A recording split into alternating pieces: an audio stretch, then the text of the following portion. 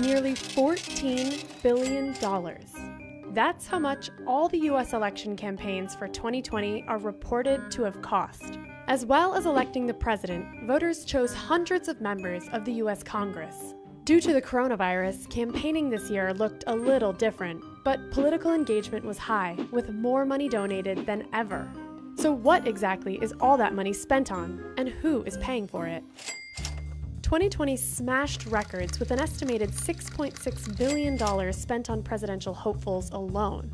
That's more than the last two presidential elections combined. With traditional campaigning limited by the pandemic, even more money was invested in media exposure.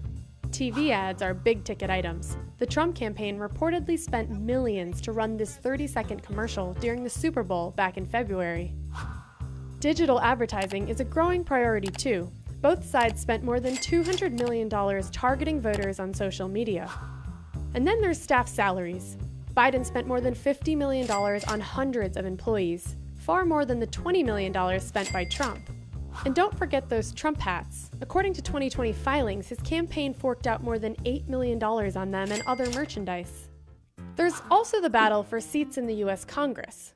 Hundreds of hopeful candidates competed in races across the country, which cost a record $7 billion in 2020. So, where is all this money coming from? Most of it is made up of campaign donations. In 2020, around 20% of contributions came from everyday Americans, people giving $200 or less. But a larger chunk came from more wealthy donors. There's a limit of $2,800 on donations given directly to the campaigns, but money can instead be donated in other ways. Candidates and their parties often form joint fundraising committees for which limits are looser. These committees have been reported to host lavish dinners for wealthy donors, raising up to $10 million in a single night. On top of that, since 2010, it's also been possible for independent groups to raise unlimited sums from companies and individuals to finance political activities. These groups, known as super PACs, aren't allowed to coordinate directly with the candidates. Contributions from outside groups are growing, more than doubling in 2020 from 2016. They also provided a much bigger boost to Biden than to Trump. There are a few other rules around campaign donations. For example, only Americans and permanent residents are allowed to donate. But unlike in many other countries, there's no overall limit on how much can be spent on political campaigns.